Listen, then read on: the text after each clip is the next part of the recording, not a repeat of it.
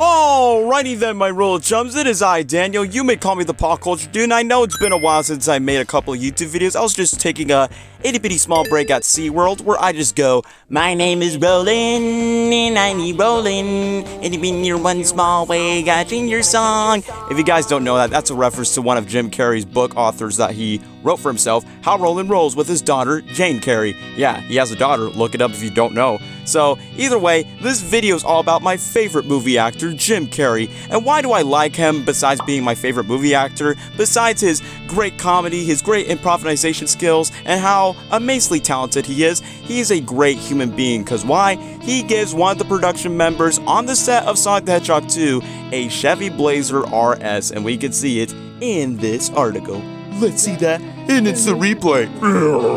Jim Carrey gives Sonic 2 crew member new car. Jim Carrey's taking a page from Oprah's playbook, giving away a brand new car, and the lucky winner is a crew member on his upcoming Sonic movie. Production sources tell TMZ Jim has been in Vancouver shooting Sonic 2 and he wanted to do something fun for the crew and show his thanks for their hard work, so he held a raffle and the grand prize was a Chevy Blazer RS. If you don't know what it is, here's the image that you can check yourself a Chevy Blazer RS. It's a sweet car ride for the production member. We were told the winner was picked Friday morning, and one of the camera operators gained the keys to their new ride. Jim's making a pretty big gesture with the free car giveaway. The Chevy Blazer RS retails for just over $40,000. Eee, I got glove.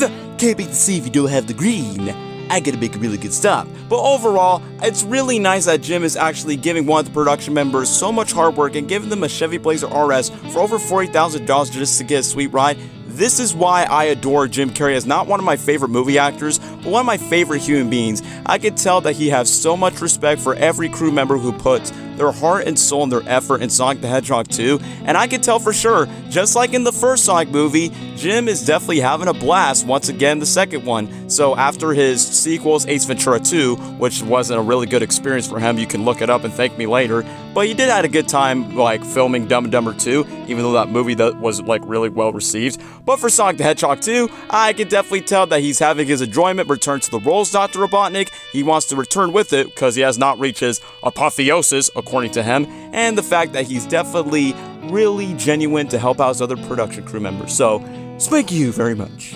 And speaking with other cast members, this may be connected to the voice of Sonic himself, Ben Schwartz. For what I've also realized that I've noticed on Twitter, and I gotta give a shout out to Kitsui once again, is remember when I told you they were supposed to wrap up all the Vancouver scenes until May 10th, but now it's been delayed to May 12th, and it's like, Huh? And there could be an explanation. According to Kitsui, he assumes that. So I think why Sonic Movie 2's filming in Vancouver might extend for a bit. I think Ben had to stay in his apartment for 14 days before he can work onto the movie. Now that that's over, he can record his line, do motion capture. Yeah, exactly. So Technically, for all the live action productions, they didn't get to hire Ben Schwartz yet, except for like a couple of scenes where they are filming in Vancouver. So if he is like actually gonna do mocap and voice record his lines of Sonic for like 14 days in Canada, it definitely would make sense. But I'm pretty surprised that they would extend like a couple of days in Vancouver until May 12th. So that's how long that they're eventually gonna film Vancouver, but that's not done with the film production. They got more scenes to film in Hawaii. So if you guys remember from my last video that they are gonna like extend scenes in Hawaii from June 14th to June 25th, where they're actually gonna like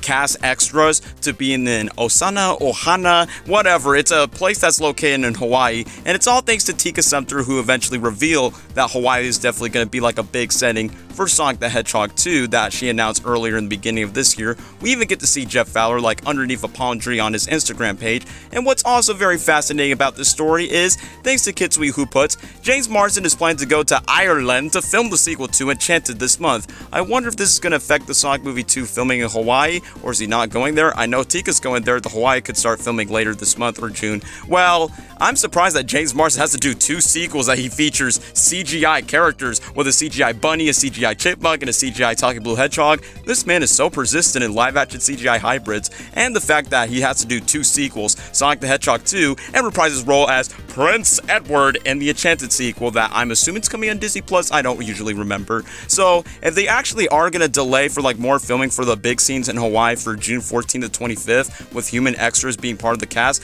then this could lead like a big significance whether that James Marsden would appear on the set or he has to go to Ireland. We eventually don't know. Besides, uh, who knows, maybe Hawaii could be Emerald Hill or a vacation subplot, I'm not really sure.